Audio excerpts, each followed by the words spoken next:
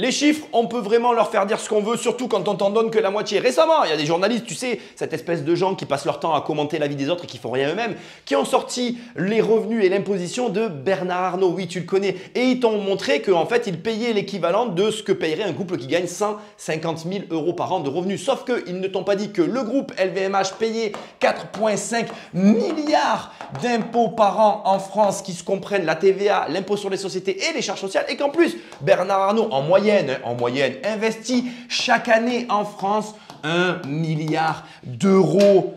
Ah ouais, mais avec ce niveau d'impôt, il faudrait lui offrir sa fiscalité. T'es pas d'accord, t'es en colère, mais vas-y, crée ta boîte, fais mieux que lui, montre-nous. Ah non, tu peux pas, non. T'es déjà un spectateur, ta vie, c'est déjà juste passer ton temps à regarder celle des autres. Ou alors, tu la fermes et tu passes à l'action.